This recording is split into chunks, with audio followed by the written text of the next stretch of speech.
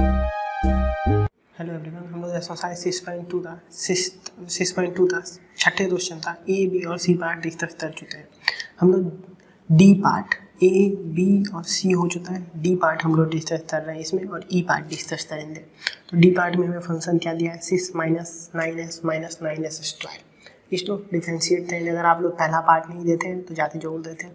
F तो हमारे पास क्या आ जाएगा? Minus nine minus two S ठीक है? Minus nine minus two S हमारे पास आ जाएगा। यहाँ पे सिर्फ़ नाइन नहीं है। यहाँ पे सिर्फ़ माइन ये नाइन नहीं है। सिर्फ़ माइनस एस स्क्वायर है तो माइनस टू एस आ जाएगा। क्लियर है? एफ़ डैश एस तो हम लोग इक्वल टू ज़ीरो डालते हैं। एफ़ डैश एस तो इक्वल टू ज़ीरो डालेंगे तो एस टी वैल्यू हमारे पास क्या आ जाएगी? माइनस नाइन बाई टू ये हमारे पास एस टी वैल्यू आ गई। फिर दो रेंज बनेगा। माइनस इनफाइनाइट यहाँ है। यहाँ है प्लस इनफाइनाइट बीच में आ गया नाइन बाई टू दो रेंज माइनस इनफाइनाइट से प्लस माइनस इनफाइनाइट से माइनस नाइन बाई टू फिर माइनस नाइन बाई टू से इनफाइनाइट रेंज क्या बना? माइनस इनफाइनाइट से माइनस नाइन बाई टू फिर माइनस नाइन बाई टू से इनफाइनाइट ये दो रेंज बनेगा दोनों रेंज पे हम लोग चेक करेंगे। तो पहले, पहला रेंज कंसीडर करते हैं हम लोग। ये रेंज देते हैं। तो यहाँ पे हमारे पास एफ़ डैश एस तो है। अब एफ़ डैश एस क्या है? Minus nine minus two S से ठीक है? तो हम लोग माइनस इन्फाइनाइट से माइनस नाइन बाई टू मतलब माइनस नाइन बाई टू कितना हुआ minus nine nine by two कितना हुआ फोर पॉइंट फाइव तो माइनस फोर पॉइंट फाइव तो माइनस इन्फाइनाइट से माइनस फोर पॉइंट फाइव के बीच में तो वैल्यू ले लेते हैं। फिर हम लोग डालते हैं चेक करते हैं तो इसमें वो फ़ंक्शन हमारा कंटिन्यूस है इंक्रीजिंग है डिक्रीजिंग है तो हम लोग माइनस फाइव कंसीडर कर लेते हैं S T value minus five consider करते हैं। तो यहाँ पे डालते, देख लेते हैं, ये मैं इरेज कर रहा हूँ स्पेस थोड़ा बन जाएगा। यहाँ में एस की जगह माइनस फाइव डालता हूँ। तो minus nine minus two into minus five हमारे पास क्या हो जाएगा minus nine plus ten minus nine plus ten मतलब क्या? वन आ गया। वन आ गया मतलब क्या? Greater than zero greater than zero मतलब क्या? स्ट्रिक्टली बताओ स्ट्रिक्टली क्या? इंक्रीजेंट ग्रेटर देन ज़ीरो अब हम लोग ये रेंज चेक करते हैं। इस range minus nine by two से माइनस इन्फाइनाइट मतलब minus four four point five से प्लस इन्फाइनाइट ये रेंज के लिए करते हैं। तो ये रेंज में तो स्ट्रिक्टली इंक्रीजिंग था अब इस रेंज के लिए एफ़ डैश एस हमारे पास दिया है। ये क्या है? Minus nine minus two S अब हम लोग S T value minus four point five से प्लस इन्फाइनाइट के बीच में तो लेते हैं। तो एस टी वैल्यू हम लोग ले लेते हैं माइनस वन जो कि इस रेंज के बीच में है। ठीक है? तो माइनस वन हमने ले लिया। Minus nine minus two into minus one minus nine plus two कितना आ गया हमारे पास? Minus seven which is smaller than zero smaller than zero तो हम लोग क्या बोलेंगे? स्ट्रिक्टली डिक्रीजिंग तो स्ट्रिक्टली डिक्रीजिंग डिक्रीजिंग का रेंज क्या हो गया? ये. ये हो जाए स्ट्रिक्टली डिक्रीजिंग ये हो जाए स्ट्रिक्टली इंक्रीजिंग का रेंज दोनों रेंज हमने फाइंड आउट कर लिया. एक एग्ज़ाम्पल के थ्रू भी मैंने आपको समझा दिया. अब ई पार्ट हम लोग सॉल्व करें डी तक हो गया. डी पार्ट भी हो गया. अब ई पार्ट ई हमें दिया F of S equal to S plus one का cube into S minus three का ट्यूब तो ये दिया F of S equal to U into भी नहीं दिया। तो यू भी मेथड के थ्रू हम लोग जब डिफ्रेंशिएट करेंगे इसको एफ़ डैश एस निकालेंगे तो यू भी मैथड के थ्रू निकालेंगे। तो यू भी मैथड के थ्रू कैसे निकलेगा, वो आप देखिए। यू भी मैथड के थ्रू हम लोग कैसे फाइंड आउट करेंगे। तो ये दो फ़ंक्शन है यू इंटू भी तो F of F dash of S हमारे पास क्या जाएगा? पहले का differentiation three S plus one का स्क्वायर इंटू दूसरे तो छोड़ देंगे। प्लस दूसरे का डिफ्रेंसिएशन इंटू पहले तो छोड़ देंगे। सॉल्व करेंगे अब तो three into S plus one का square into S minus three का स्क्वायर क्यूब है। आप स्क्वायर तो लिखा तो हम लोग स्क्वायर कॉमन ले सकते हैं। यहाँ पे भी स्क्वायर है, यहाँ पे भी स्क्वायर है। यहाँ पे भी, यहाँ पे क्यूब है तो स्क्वायर मैंने तो हमें ले लिया। तो अब बचा क्या? एस प्लस वन था स्क्वायर तो बाहर ही आ गया। एस माइनस थ्री था क्यूब है। स्क्वायर बाहर आ गया तो बचा S minus three plus three into S minus three था स्क्वायर बाहर आ गया।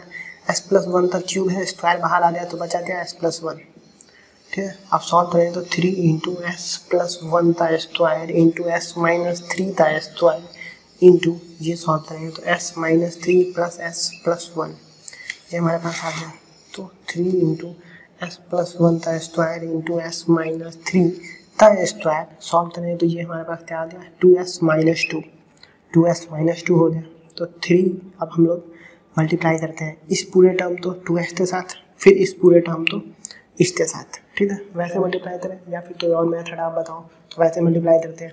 या फिर हम लोग टू तो कॉमन ले लेते हैं। इस दोनों में से यहाँ पे भी टू है, यहाँ पे भी टू है। टू कॉमन ले लेते हैं। तो थ्री इंटू टू सिक्स हो जाएगा। एस माइ एस प्लस वन था square into S minus three था स्क्वायर यहाँ पे क्या बचेगा? जब कॉमन है तो एस माइनस वन बचेगा तो एस माइनस वन हमने रहने दिया। तो ये तब तो कन्फ्यूज़न नहीं होना चाहिए। अब हम लोग क्या करते हैं? एफ़ डैस एस तो ज़ीरो तो इक्वल टू पुट करेंगे। तो ज़ीरो तो इक्वल टू पुट करेंगे। तो ऐसे तो ज़ीरो तो कुछ नहीं हुआ। इसकी वैल्यू हमारे पास आता है जी माइनस वन फिर ये mine S minus three equal to zero तो एस की वैल्यू प्लस थ्री फिर प्लस वन तो ये तीन रेंज आएगा तो अब देखिए नंबर लाइन कितने पे डिवाइड होगा? एक तो माइनस वन पे डिवाइड होगा, फिर एक प्लस वन फिर थ्री फिर इनफाइनाइट यही होगा ना। तो रेंज कहाँ से कहाँ तक हम बदल लेंगे माइनस इनफाइनाइट से माइनस वन फिर माइनस वन से प्लस वन फिर वन से थ्री और फिर थ्री से इनफाइनाइट माइनस इन्फाइनाइट से माइनस वन फिर माइनस वन से वन फिर वन से थ्री फिर थ्री से इन्फाइनाइट तो इधर तक कोई कन्फ्यूज़न नहीं है। ठीक है? आगे हम लोग चले, चलिए आगे चलते हैं। तो पहला रेंज हम लोग कंसीडर करते हैं। माइनस इन्फाइनाइट से माइनस वन फिर माइनस वन से प्लस वन ये हम लोग रेंज लेते रहते हैं। माइनस इन्फाइनाइट से माइनस वन फिर माइनस वन से प्लस वन ये रेंज जब हम लोग कंसीडर करेंगे तो एफ़ डैश एस तो हमारे पास सेम है। क्या है? Six into S plus one था S square into S minus three था square into S minus one अब कोई भी वैल्यू आप डालते देख लो मैं माइनस इनफाइनाइट से माइनस वन और माइनस वन से प्लस वन तो माइनस वन और प्लस वन के बीच में की वैल्यू ज़ीरो होती है ना तो ज़ीरो मैं ले लेता हूँ। तो, तो मुझे सॉल्व करने में आसानी होगा six into zero plus one था square into zero minus three था square into zero minus one solve करते हैं तो हमारे पास क्या आ जाएगा? सिक्स इंटू हमारे पास क्या हो जाएगा? ये वन था स्क्वायर तो वन ही हो जाए तो उसको लिखे ना लिखे। माइनस थ्री था स्क्वायर हमारे पास नाइन हो गया और माइनस वन तो ये आ गया हमारे पास minus fifty four which is smaller than zero smaller than zero मतलब क्या होता है? स्ट्रिक्टली डिथ्रीजिन स्ट्रिक्टली डिथ्रीजिन का रेंज कहाँ से, कहाँ तक है? माइनस इनफाइनाइट से माइनस वन फिर माइनस वन से प्लस वन अब ये दोनों रेंज कंसीडर करेंगे और फिर उस पर चेक करेंगे। तो मैं ऊपर वाला पार्ट इरेज कर दे रहा हूँ तो दिक्कत आप ये नोट डाउन कर लीजिए। ठीक है? समझ में आ रहा है आप तो? तो इतना तो नहीं है तो कन्फ्यूज़न नहीं है। चलिए, आगे चलते हैं। हम लोग वन प्लस वन से थ्री और फिर थ्री से इनफाइनाइट वाला रेंज चेक करते हैं। तो वो रेंज में हमारे पास एफ़ डैश एस तो सेम ही होगा। Six into S plus one था square into S minus three था square into S minus one ये हो गया। अब वन से थ्री और थ्री से इन्फाइनाइट बीच में तो ये वैल्यू हमें कंसीडर करना है। तो ये वैल्यू हम लोग कंसीडर करते क्या करें? तो हम लोग टू ले लेते हैं। वन और थ्री के बीच में टू आ जाएगा ना तो टू ले लेते हैं हम लोग। तो सिक्स इंटू थ्री था स्क्वायर मतलब two plus one three into हमारे पास minus one two minus three तो माइनस वन था स्क्वायर इंटू वन क्लियर तो अब हम लोग सॉल्व करते हैं तो सिक्स इंटू नाइन ये तो वन माइनस वन था स्क्वायर तो वन ही हो जाएगा और वन इंटू वन वन तो करना ज़रूरी नहीं है यदि ये इंटू वन इंटू वन का कोई फ़ायदा है, आप ही बताओ। इक्वल टू हमारे पास आ गया fifty four is greater than zero greater than zero है ना? तो मतलब क्या हुआ? स्ट्रिक्टली क्या स्ट्रिक्टली इंक्रीजिंग है? स्ट्रिक्टली इंक्रीजिंग का रेंज ये हो गया, ठीक है? स्ट्रिक्टली डिक्रीजिंग का रेंज हमारे पास क्या आया था? माइनस इन्फाइनाइट से माइनस वन और फिर माइनस वन से वन ये स्ट्रिक्टली डिक्रीजिंग का रेंज था स्ट्रिक्टली इंक्रीजिंग का रेंज ये है। तो क्वेश्चन नंबर सिक्स कंप्लीट हो गया तो दिक्कत कोई कन्फ्यूज़न नहीं होगा आपको। पहला पार्ट आप जाते ज़रूर देते, अगर आप तो ए बी सी देखना है तो।